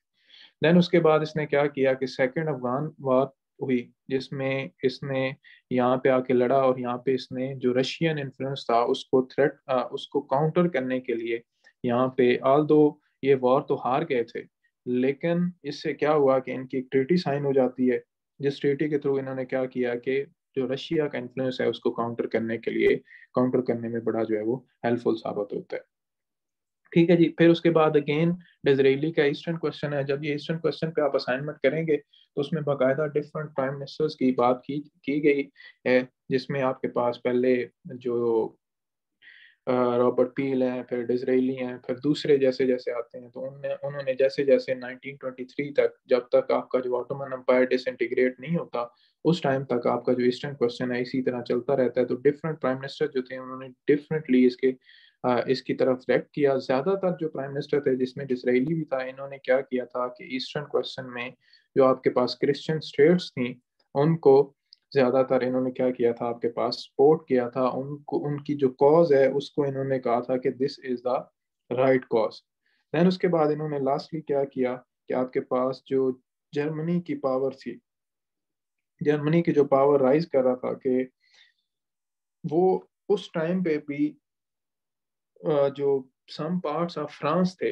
यानी जर्मनी के साथ फ्रांस था, उस पे क्या था कि उस पे कुछ उसकी आइज़ थी, वो चाहता था कि मैं इस पर हमला करके इससे फ्रांस के जो है कुछ हिस्से, जो टेरिटरीज हैं, उससे ले लूँ। लेकिन इसराइली ने क्या किया कि उसने कहा कि फ्रांस जर्मनी को इसने प्रेशराइज किया और इस तरह वॉर नहीं हुई। इस तरह उसने क्या किया कि आपके पास जो जर्मनी है, उसकी एग्रेसिव पॉलिसीज़ को काउंटर किया। अच्छा अब यहाँ पे आप देख सकते हैं कि जो आपका डिजराइली था, वो ऑल इन ऑल इंपीरियलिस्ट था। यानी पूरी दुनिया में डिफरेंट जितनी भी आप पॉलिसी देख सकते हैं, उसमें आपके पास वो उन उन, उनको ही अपने पास जो है वो फॉलो करा था। और एट होम क्या था, उसने डिफरेंट जो है आपके पास सोशल रिफॉर्म्स लेके आए, जिसमें आपकी ये सारी रिफॉर्म यानी मॉडर्न डे की जितनी भी रिफॉर्म्स की बुनियाद है, इसने आपके पास रखी थी। उसके बाद ही आपके पास अगले जो प्राइम मिनिस्टर हैं वो ग्लैडस्टोन है। ही वाज बोर्न इन 1809 1832 में ये पार्लियामेंट के मेंबर बने थे। He remained PM from 1869 to 74 1880 to 85 86 में शॉर्ट टेन्योर के लिए थे देन 1892 से लेकर आपके पास 94 तक, यानी total one two three and four times जो है वो he became the prime minister of England died on May 19 1898 अगर रिफॉर्म्स की बात करते हैं होम पॉलिसी की तो इन्होंने सेकेंड रिफॉर्म एक्ट 1866 में, उसमें उनके पास करने के लिए इन्होंने बड़ा एफर्ट की थी। फिर सीक्रेट बैलेट एक्ट जो है वो 1872 में पास करवाने में इन्होंने हेल्प आउट किया था। दैन उसके बाद थर्ड रिफॉर्म एक्ट जो 1884 में आया था gave voting right to rulers the distribution of seats यानी सारी पार्लियामेंट्री रिफॉर्म्स जो हैं, उनके पीछे आपके ग्लैड स्टोन आपका जो है वो हाथ था। हाथ था सॉरी देन उसके बाद इन्होंने एजुकेशनल रिफॉर्म भी की यानी प्राइमरी एजुकेशन एक्ट जो 1870 का था उसमें उसके थ्रू इन्होंने क्या किया कि प्राइमरी एजुकेशन कंपलसरी कर दी for all the students then university test act भी ख़त्म कर दिया गया। एजुकेशन एक्ट जो है वो आपके पास 1880 का है उसमें फर्दर जो प्राइमरी एजुकेशन है उसको कंपलसरी किया गया। देन उसके बाद सेकेंडरी एंड कॉलेज एजुकेशन जो है उसको 1888 में एक्ट आया जिसको उस, उसको क्या किया कि इसने आपके पास जो है वो रिफॉर्म किया। देन उसके बाद इन्होंने डिफरेंट सोशल रिफॉर्म्स भी किए, जिसमें आपके पास ट्रेड यूनियन एक्ट था 1871 में, जिसमें क्या किया कि आपके पास जो है वो डिफरेंट एक एक रॉयल कमीशन बनाया गया था, जिसने क्या, जिसके थ्रू क्या वो क्या करता था कि उसको, उसके ज़िम्मे ये काम लगाया गया आप क्या करें कि आप रिपोर्ट्स इकट्ठी करें जो आपके लेबर्स को प्रॉब्लम है। सो एज अ रिज़ल्ट उसके नतीजे में 1871 में ट्रेड यूनियन एक्ट पास किया गया, जो एक यूनियंस बनाई गई, जो कि रिप्रेजेंटेटिव्स थी लेबर्स की और उनके थ्रू वो क्या करते थे कि आपके पास जो है वो अपनी जो उनकी डिमांड्स थी, उनको रिप्रेजेंट करते थे। फिर आपके पास जो ये लाइसेंसिंग एक्ट था, इसके थ्रू अल्कोहल की कंजम्पशन को कंट्रोल करने के लिए एक्ट पास किया गया। बरियल एक्ट में आपके पास क्या था कि जो क्रिश्चियंस थे ऑफ़ कैथोलिक उनको बरी नहीं करने दिया जाता था। सो so, इसने क्या किया कि तमाम जो Christian irrespective of their acts उनको इरिस्पेक्टिव ऑफ़ देयर सेक्स वो कहीं पे भी उनको बरी किया जा सकता है उन पे वो जो एक कंडीशन थी उसको ख़त्म कर दिया गया। देन उसके बाद अगर ये जो कोई आपके पास वर्कर है उसको कोई लॉस हो जाता है तो एम्प्लॉय लाइबिलिटी एक्ट पास किया गया बाय हिम जिसके नतीजे में क्या होता था कि कोई भी कंपनसेशन अगर आपके पास, ये ऊपर आपके पास पाम स्टोन लिखा हुआ है, लेकिन ये ग्लैड स्टोन की है। वो गलती से ऊपर आ गया, इसको चेंज कर लीजिएगा। उसके थ्रू कंपनसेशन जो है वो दी जाती थी। देन उसके बाद एग्रीकल्चरल होल्डिंग एक्ट 1883 में पास किया गया, जिसमें परमानेंट लैंड रिफॉर्म्स किए गए। दैन उसके बाद जो लैंड की इम्प्रूवमेंट के लिए डिफरेंट जो है वो आपके पास रिफॉर्म्स की गई। दैन उसके बाद जुडिशल रिफॉर्म्स हैं जिनकी जिसमें 1870 एक्ट में एक पास किया गया एक्ट पास किया गया, जिसमें प्रोहिबिट किया गया डिस्ट्रीब्यूशन ऑफ़ सीड्स और जो एक कंपेटिटिव एग्ज़ाम का आज आप देखते हैं, कि कंपेटिटिव एग्ज़ाम के थ्रू जो है वो लोगों को सिलेक्ट किया जाता है for the for for the higher post so ये उस टाइम पे जो ग्लैड स्टोन की रिफॉर्म थी, उनमें इंट्रोड्यूस करवाया गया था। देन उसके बाद जो जुडिकेचर एक्ट है, जिसमें सुप्रीम कोर्ट को जो हाउस ऑफ़ लॉर्ड्स की मनोपली थी ऑन सुप्रीम कोर्ट इसमें क्या किया था कि इनको हाई कोर्ट ऑफ़ जस्टिस और डिफरेंट कोर्ट्स ऑफ़ अपील में डिवाइड किया गया और लोअर टायर तक इसको लेके आया गया ताकि लोगों को ज़्यादा से ज़्यादा इंसाफ मिले और जो हाउस ऑफ़ लॉर्ड है, उसकी मनोपली जो है, वो ख़त्म की जा सके। देन उसके बाद इनकी कुछ आर्मी रिफॉर्म्स हैं, जिनमें relieve the commander in chief उनके कमांडर इन चीफ जो था एडमिनिस्ट्रेटिव ड्यूटीज़ जो उस पर होती थी एक्स्ट्रा एडमिनिस्ट्रेटिव ड्यूटीज़ उसको उन्होंने ख़त्म कर दिया। देन उसके बाद जो आपके पास office shifted is office to war office इसके ऑफ़िस को वॉर ऑफ़िस में शिफ्ट कर दिया ताकि इसकी जो रिस्पॉन्सिबिलिटीज हैं, सिर्फ़ और सिर्फ़ वॉर रिलेटेड वो किए जाएँ। देन उसके बाद जो आर्मी में एबल्ड पर्सन है, ये जो P M A course all the stuff ये इंट्रोड्यूस करवाया गया था, ये वहाँ पे उस टाइम पे उन्होंने इनकी रिफॉर्म्स के थ्रू इन्होंने कमीशन बनाया था, जिसमें ये सजेशन दी थी कि आप इस तरह अपॉइंटमेंट्स जो है वो करें तो इस टाइम पे आपके पास जो है वो ये पास किया गया। देन उसके बाद आर्मी इनलिस्टमेंट एक्ट यानी इसमें ये डिसाइड किया गया कि आपके पास अगर कोई आर्मी का सोल्जर छः साल सर्विस करने के बाद वापस जाना चाहता है तो वो जा सकता है, लेकिन उसको क्या किया जाएगा? रिज़र्व लिस्ट पे रखा जाएगा।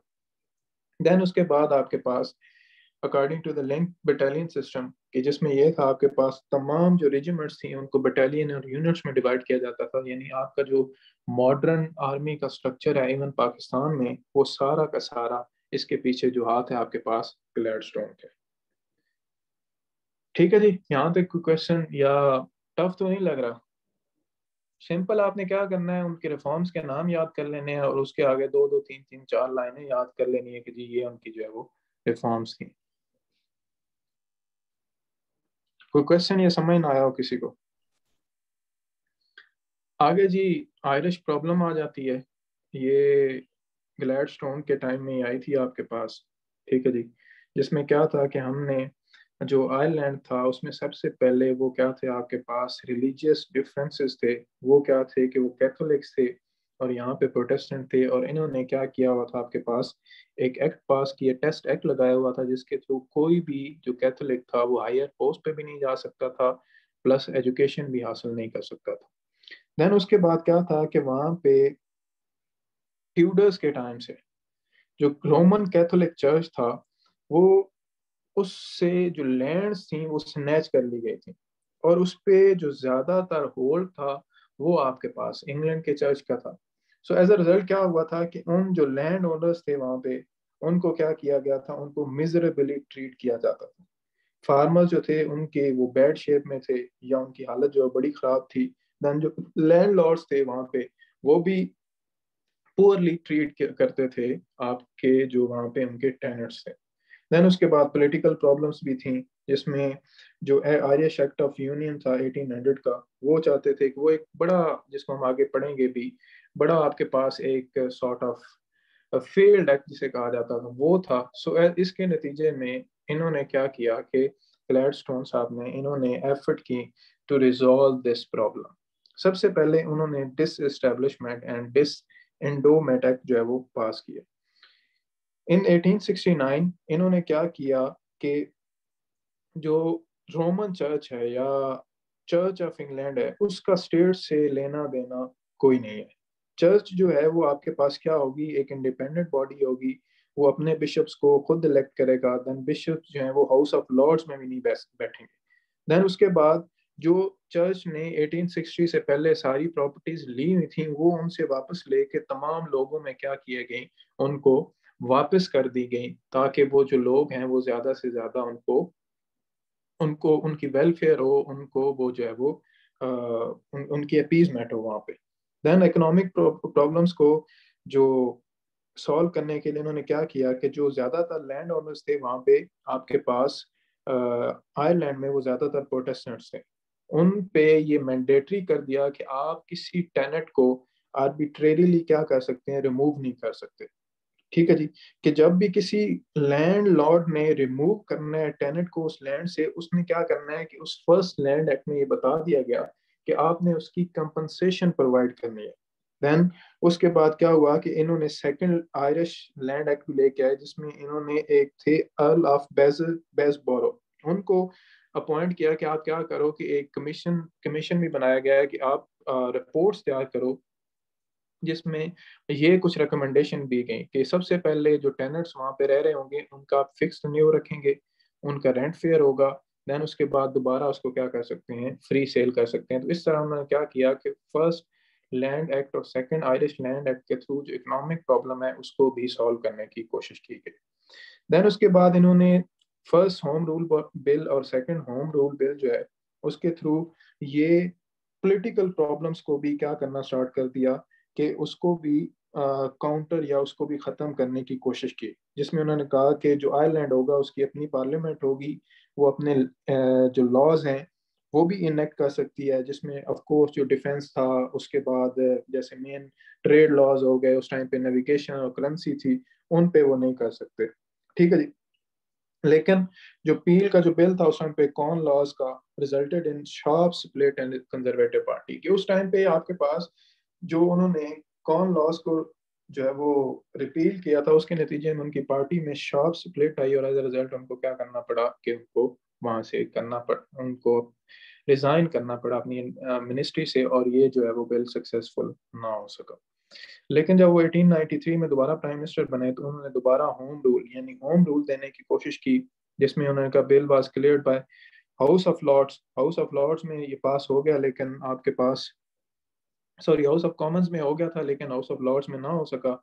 सो एज अ रिज़ल्ट इनकी पॉलिसी जो है वो एक आपके पास फेलियर ही हमें दिखाई देता है। क्यों? क्योंकि एक तो ये खुद बूढ़े हो चुके थे। देन उसके बाद इनकी अपनी जो पार्टी है, वो भी इनके अगेंस्ट चल रही थी। देन उसके बाद इनकी जो सारी पॉलिसीज़ थी due to his due to his जो age factor and all the stagnate personality वो क्या थी? वो फेल हो रही थी प्लस एक लीडर थे अल्स्टर उन्होंने इनके क्या की एक स्ट्रॉन्ग अपोजिशन की और एज अ रिज़ल्ट इतना हमें कोई आयरिश पॉलिसी भी जो है इतनी सक्सेसफुल हमें दिखाई नहीं देती। ठीक है जी काफ़ी है या और पढ़ लें? सर बस काफ़ी, काफ़ी है। सर अच्छा चलो। अच्छा जी एक मिनट दोबारा हम देख लेते हैं जो हम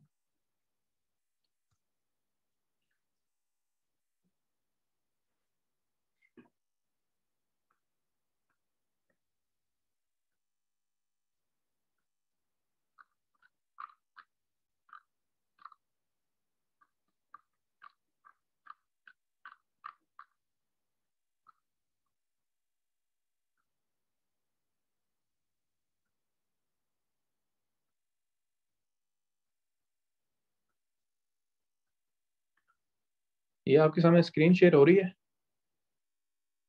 यस yes, सर सबसे पहला क्वेश्चन क्या है कि 2016 में what measures were adopted by England to check the influence of French revolution पढ़ चुके हैं हम। देन उसके बाद रिफॉर्म एक्ट 32 ये भी पढ़ लिया है। Palmerston was more successful as foreign minister than as prime minister critically analyse explain the policy of Disraeli with special reference to peace of honour यानी पीस विद ऑनर आपके पास क्या होगा? पूरी दुनिया में उसने क्या किया था? इम्पीरियलिज्म जो है वो किया था। चारों क्वेश्चन आपके हो रहे हैं। देन नीचे आ जाएँ आप। What were the merits and demerits Whig rule industrial revolution Chartist movement why did it fail explain and analyse फिर ग्लैडस्टोन की domestic policy was the climax of liberalism discuss यानी सारी जो उसने social economic and political reforms की थी, चारों question आपके सेक्शन में हो रहे हैं। उसके बाद emergence of developments known as glorious revolution उसके बाद agrarian industrial revolution shed the light of Robert Peel British premier Irish issues उसके बाद ये हम थोड़ा सा रह, रह गया आयरिश इशू वाला इसको हम दोबारा कर लेंगे। उसके बाद डेमोक्रेटाइजेशन ऑफ़ ब्रिटिश पार्लियामेंट जिसमें 1832 का एक्ट है 1867 का 1872 का 1884 का 1911 और 1918 चारों क्वेश्चन आपके इस पोर्शन में भी हो रहे हैं। करने आपने दो हैं। नीचे आ जाएँ। ग्लोरियस रेवोल्यूशन आपके पास। Political and constitutional significance of Hanoverian succession उसके बाद इंडस्ट्रियल रेवोल्यूशन उसके बाद रिफॉर्म एक्ट 1832 आपका पूरा क्वेश्चन चार हो रहे हैं यहाँ से। Merits and demerits of Whig oligarchy then उसके बाद French revolution history of parliament reforms between 1832 and 1928 how England became a parliamentary democratic. Peel was more was the most liberal of conservatives and most conservative of liberals examine statement critically. Then उसके बाद जी ये question थोड़ा सा unexpected आ गया था ये आप छोड़ दें इसको act of union 1707 provide a detail account of world war one जो कि हम आगे पढ़ेंगे देन उसके बाद what is Edwardian era elucidate the rise and significance of labor movement and Edwardian Edwardian era ठीक है उसके बाद आपके पास ये कौन सा है? दो हज़ार बाईस वाला है।